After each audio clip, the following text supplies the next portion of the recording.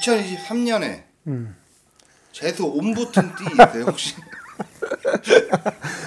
어쨌든 사업하고 움직이든지 아니면 뭔가를 하고 있는 사람들은 특히 44살 원숭이띠 내년에는 12 구속 뭐 구속도 당할 수도 있고 시비도 당하고 남을 잘못 때리면 살도 맞고 원숭이띠는 내년 잘 맞고 넘어가야 된다 내년에 큰 돈 나간대 자꾸 근데 하나 좋은 거는 인연법은 열리는데 큰 나쁜 애고는 뭐냐면 사업하는 사람들 이런 사람들 관제가 걸리면 뭐예요? 세금을 또 많이 걷어들일 거 아니에요 또. 세금 조심 많이 하셔야 되고 진짜로다가 시비 안 당하고 남하고 싸우지 마시고 웬만하면 그냥 참고 넘어가라.